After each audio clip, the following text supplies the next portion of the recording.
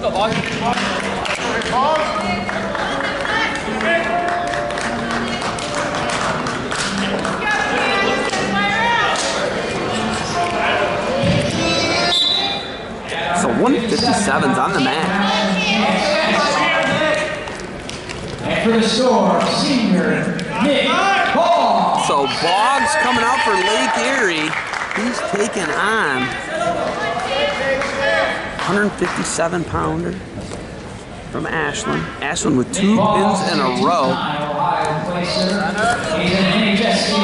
Shot by Boggs. 2017 NCAA Division II Boggs an All-American two years ago. Right now, it's by Boggs. Boggs taking on 157 pounder. Chance Esmont. Esmont.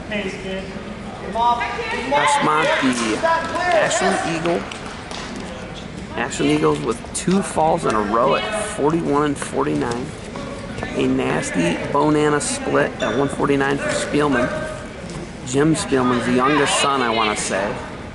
The local yokel, who is a local from Ashland, went to Mansfield Madison Comprehensive. It's a shot, misses one way, comes back to the other, does Boggs. And Boggs is the definition of warrior, folks. All American two years ago, redshirted last year. Esmont giving him some fits here early on. So Esmont, Boggs here, scrapping it at 157. Your dual score 12-7 in favor of the Ashland University Eagles. This one's going to come down to bonus points. Last month, the sophomore from Pickerington, Ohio. Pickerington, is Pickerington Central, I want to say. So Esmont in the red with his back here. He's taking on Nick Boggs. Boggs, Lake Erie College, Esmont, Ashland. Scoreless bout here. We're two minutes into it. Esmont pulls the trigger, runs into an underhook of Boggs. Shout out to Coach Hugenboom.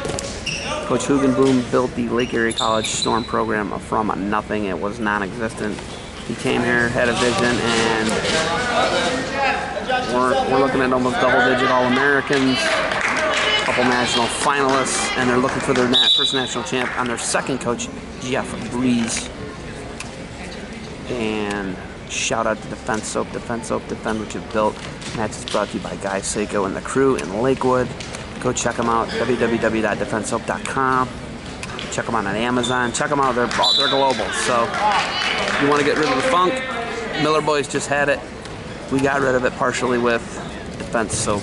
Overtie Shuck Attempt by Esmont.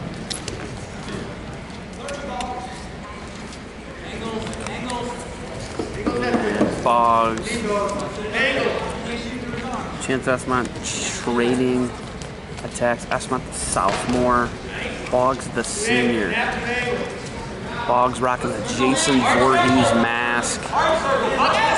He led the short time here. It's gonna be a scoreless first between Esmont and Boggs. But Boggs led the storm along with the Glogowski brothers. Well, Forrest Glogowski, who wrestled all the matches. Blake did not. Led him to a GMAC Conference, Great Midwest Athletic Conference Championship in the duels last week at Tiffin. Boggs won three barn burners, folks. Count them three. Kind of how Boggs rolls. Literally. And up and out is Esmont immediately. 1-0 lead Esmont. So Esmont, Boggs, shaping up to be a very Boggs-esque match. And doing a great job on the head of Boggs now with a front headlock. You could have Boggs in some trouble here. Got that like key lock there. Esmont looking to maybe step hop pull, put him on his hands. And Esmont gonna have to do something with that.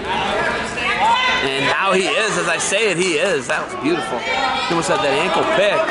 And now Esmont stuck there in that front headlock, not really doing anything with it. They're taking some juice out of Boggs, though, and that, that's good for Esmont. That's what you want to do. So they clear out.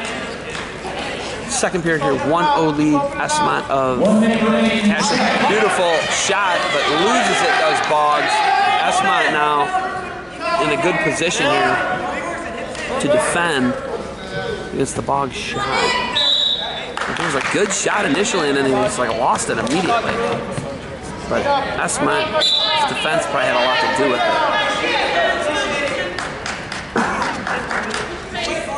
So Esmont, Boggs, 1-0 lead Esmont. So 31 seconds left here. Second period, 1-0 lead. Ashland Eagles up in the duel, 12 to 7. So if you're Lake Erie, you gotta pick up a win here from your All-American. And we're inside of 15 now. There's a deep shot by Boggs again, but Esmont, go look to pancake him. Oh, he had that. I can't believe. How does Boggs wrestle out of some of these positions? Thought Esmont had it. And we're gonna run out of time. They're gonna be 1-0 lead. Chance Esmont going into the third choice. Boggs. At the end of the second, Esmont leads 1-0. Let's Boggs get going underneath the to start period. the third. Esmont and him currently tied. So Boggs underneath. Esmont covers.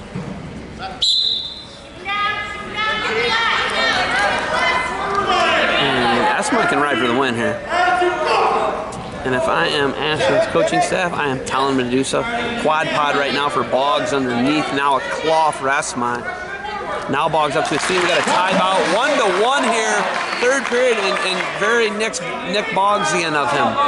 NCAA tournament hosted by Ashland here in Cleveland.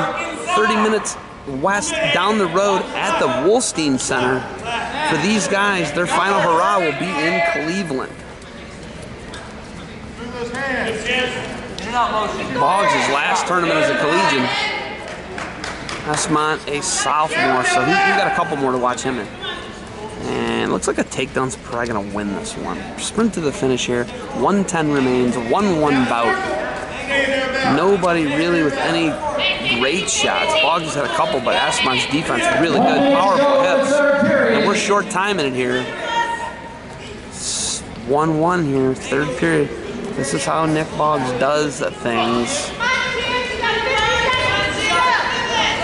And Boggs stalking him, but Esmont, he's not scared. Esmont tries a little half shot. Boggs blocks out with his face. 37 seconds left here, third period, 1-1 bout. Nick Boggs tries to go one way, then the back the other. Esmont clears out. Boggs, deep shot, runs into an underhook though of Esmont. Now Esmont, front headlock, he could score.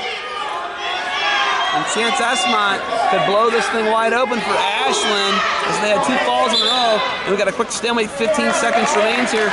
Third period, Boggs, Esmont, of course a barn burner. And Boggs, Esmont, this is where, and beautiful shot by Esmont, head outside. He's got, Boggs is in trouble, he's got to cut across, short time, seven seconds. Now Boggs are gonna score, five seconds. Esmont hanging on. And of course we're going to overtime.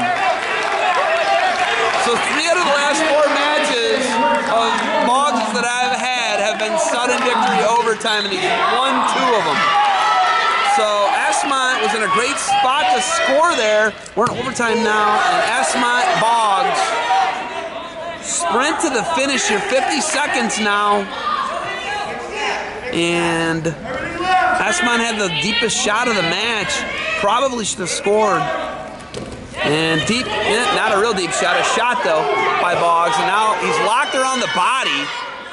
Esmont gets his hips back. And now we're in like a underhook, almost an over-under, and he goes for it. Does Boggs, drops down on another shot. Deep, looks to cut across, puts Esmont on his hip. Esmont might be in a little bit of trouble here, but he's a superb athlete. We're on the edge. Five, 15 seconds. And nothing. And Esmont's off the mat. No! There you go, no! And the Lake Erie College bench was not happy about that. 10 seconds remains. Esmont and Boggs ending in a barn burner here. Last eight seconds, deep shot again by Boggs. Esmont going to defend this one, and we're going to rideouts, folks. And here we go, rideouts. Choice, Esmont, he's going to go underneath.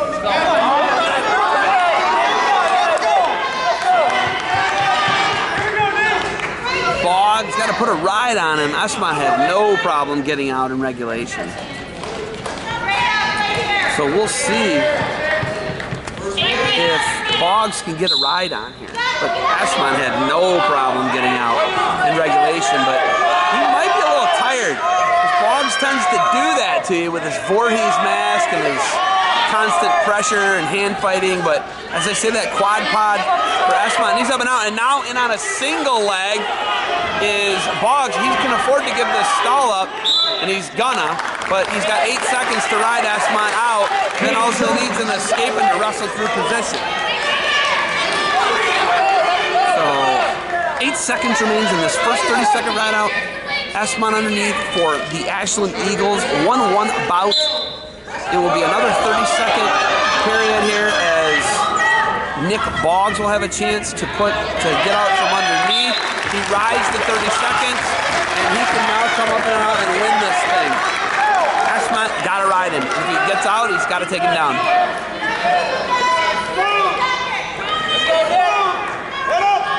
And we got a caution on Chance Esmont. Ashland. Boggs, two-time state placer from down the road at Riverside. Match is brought to you by Defense Soap. Defense Soap, defend what you've built. That's my covers. my can ride. I'm just saying.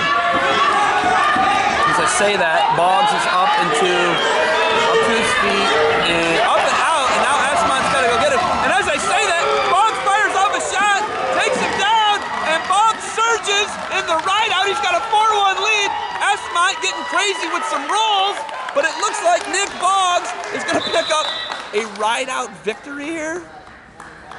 And, and he bent the hand of Boggs the wrong way. Technical violation. Another point on the board, Boggs. That's gonna make it five to one. Escape, takedown. Yep, should be five to one.